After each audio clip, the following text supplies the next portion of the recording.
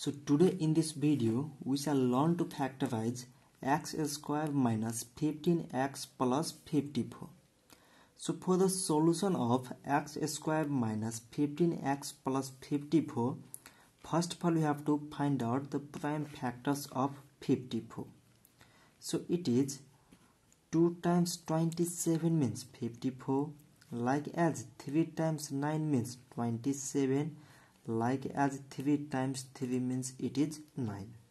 so we got the number here 2 3 3 and 3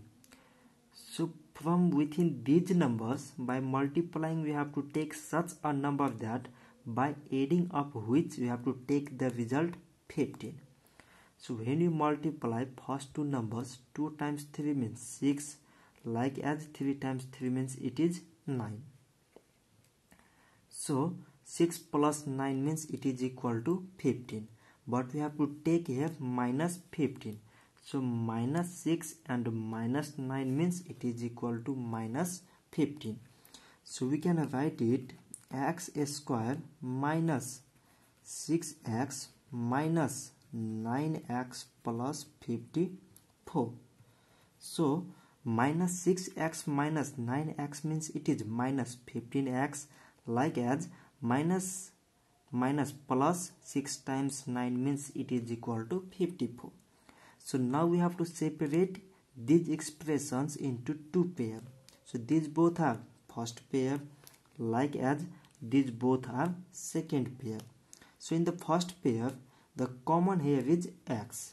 So the remaining is x minus 6 like as in second pair the common here is minus 9 so the remaining is x minus 6 so as you look here here is also x minus 6 like as here is also x minus 6 so x minus 6 is common in both. So like as in first the remaining is x. Like as in second the remaining is minus 9 so the factors of x, x square minus 15x plus 54 is x minus 6 and x minus 9.